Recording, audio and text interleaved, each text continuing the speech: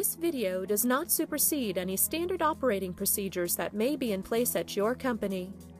Consult with an expert when troubleshooting and to otherwise ensure that you are using the products and safeguards that are appropriate for you and the application at hand.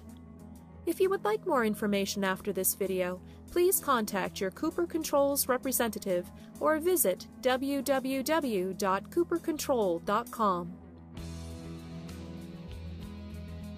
In this video, you will learn how to connect wall stations, motion sensors, and daylight sensors to your room controller. The room controller connects to these accessories using Quick Connect cables and Click and Go connectors, minimizing installation time. To connect wall stations to your room controller, attach a Quick Connect cable between the room controller's wall station port and one of the ports on the back of the entry wall station.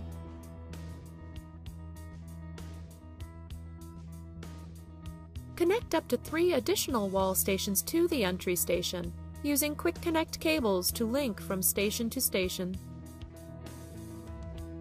RC3D and RC3DE models support the connection of one slider station. If a slider station is connected and other wall stations contain raise and lower buttons, the room controller will automatically disable the other raise lower controls. The slider station connects to a dedicated port and should not be connected to other wall stations in the space. Attach a Quick Connect cable between the room controller's slider station port and the port on the back of the slider station.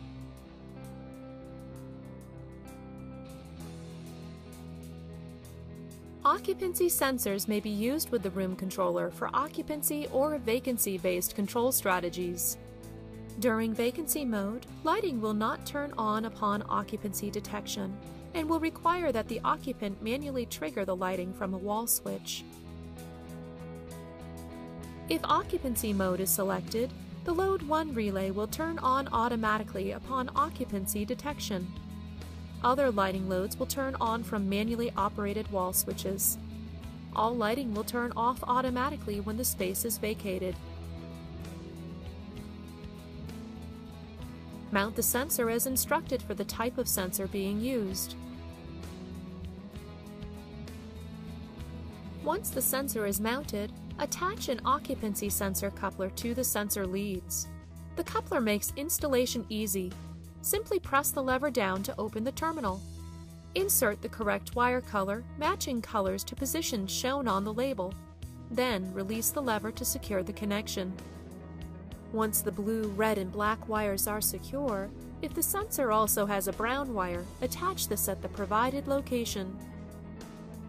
Attach a Quick Connect cable between one of the room controller's sensor ports and one of the ports on the occupancy sensor coupler. If you have a larger room that requires two occupancy sensors, use a Quick Connect cable to attach the second sensor coupler to the first sensor coupler or to the second sensor port on the room controller. Once the occupancy sensor is connected, select the desired operating mode using the energy option switch number 3. The default mode is vacancy mode. For vacancy mode, leave energy option switch number 3 in the off position. To select occupancy mode, move energy option switch 3 to the on position. One daylight sensor may be used with the room controller for single or multi-zone dimming strategies. The daylight sensor can be mounted using the provided post and locking washer or the mounting bracket accessory. Place the sensor approximately 1 to 2 times the height of the window into the space, avoiding a location where the sensor will be affected by direct electric light contribution. Rotate the sensor head until the sensor's lens and orientation arrow are pointed towards the window.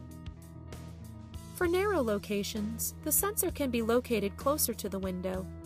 Rotate the sensor's head until the sensor's lens and orientation arrow are pointed away from the window into the space.